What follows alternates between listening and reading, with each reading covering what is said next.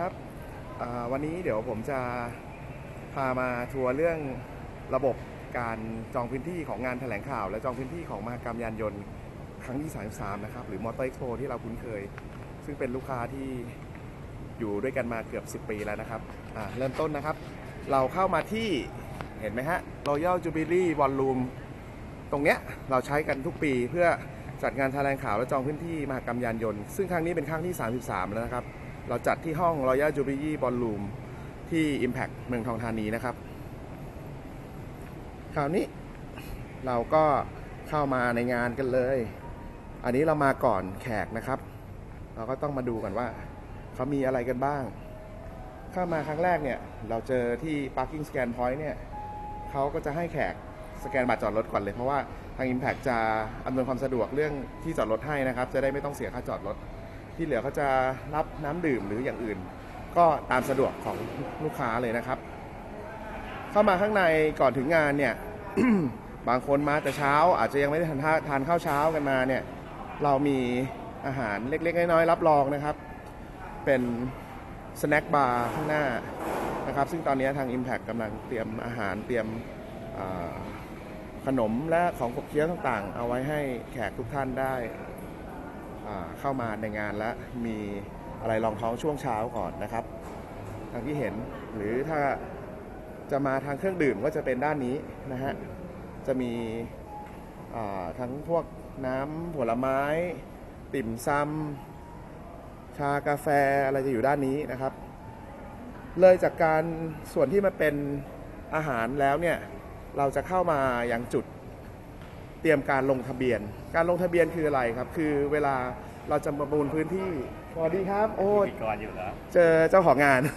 อันนี้อัดไว้จะได้จำได้ครับ อ๋อครับผม โอเค ก็เราเข้ามาเจอถึงบูธ register นะฮะ ก็จะเป็นพื้นที่สำหรับ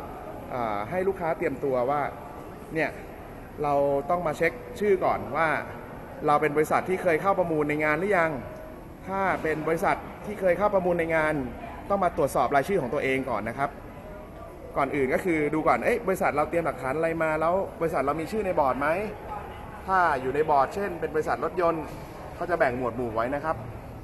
หรือบริษัทที่เกี่ยวกับอุปกรณ์ต่อเนื่องพวก accessory เขาจะแบ่งหมวดอย่างชัดเจนไว้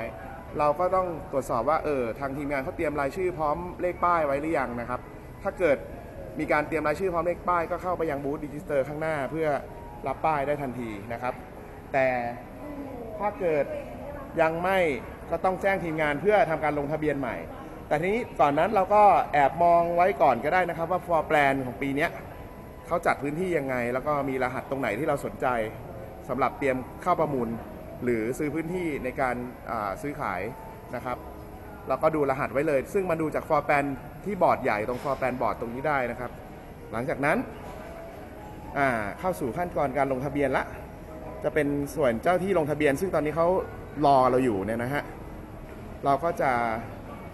เข้าไปเพื่อลงทะเบียนว่าเป็นลูกค้าเก่าลูกค้าใหม่ ถ้าเป็นลูกค้าใหม่ก็ต้องยื่นเอกสารนิติบุคคล แล้วก็รายละเอียดต่างๆ ให้ทางทีมงานนะครับ แต่ถ้าเป็นลูกค้าเก่าก็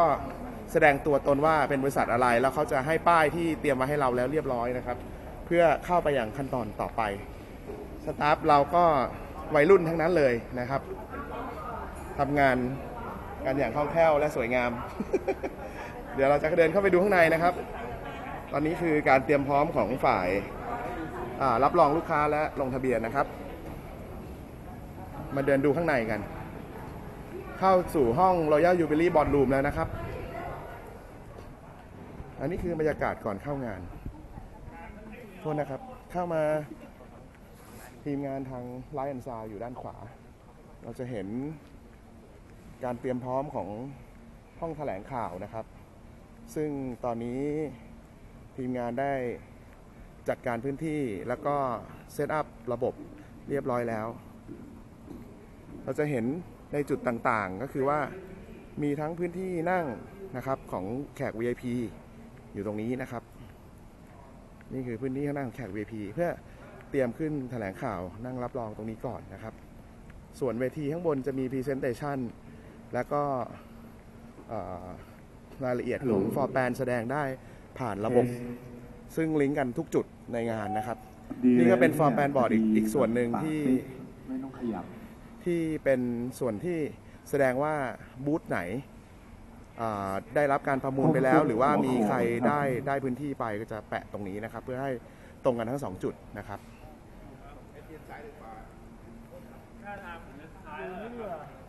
คราวนี้มาดูถึงเวทีกลางนะครับ นี่เป็นเตรียมแถลงข่าวก็จะมีรายชื่อของอท่านแขกทั้ง VIP ทั้งหลายที่ต้องเข้ามาในงานนะครับ เราเตรียมตำแหน่งไว้เรียบร้อยนะครับ ซึ่งแต่มีแต่ละที่ก็จะมีstation ของ staff ที่เกี่ยวข้องเตรียมพร้อมสำหรับเปิดระบบ Database ลิงก์กับข้อมูลภายใน เพื่อตรวจสอบรายละเอียดของบูธหรือการทำสัญญาให้เรียบร้อยได้ อย่างเช่นเครื่องนี้นะครับ เครื่องนี้เป็นเครื่อง main ที่สำคัญเครื่องหนึ่งเป็นเครื่องสำหรับการ display map และทำการออ t ชั่น e-auction นนะครับ พื้นที่โดยโดยรวมซึ่งจากในรูปจะสังเกตว่าพื้นที่ยังเป็นสีเทาคือเป็นพื้นที่ว่างพร้อมที่จะอ่าทำการประมูลรออยู่สำหรับแขกวันนี้นะครับ หลังจากประมูลไปแล้วพื้นที่ก็จะเปลี่ยนสีตามสถานะว่า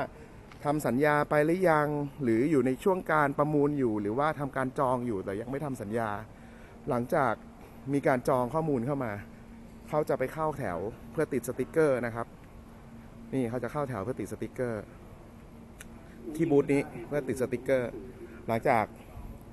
ติดสติกเกอร์ว่าคุณ ไปจองพื้นที่อะไรมาแล้วปุ๊บเนี่ยเราจะเข้ามาอย่างพื้นที่เพื่อทำสัญญา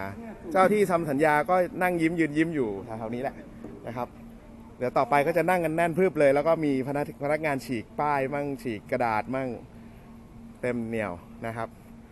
ตอนนี้เราก็เตรียมพร้อมเรียบร้อย เดี๋ยวรอดูตอนงานจริง ๆ แล้วเดี๋ยวมาดูบรรยากาศกันอีกทีหนึ่งนะครับ สวัสดีครับ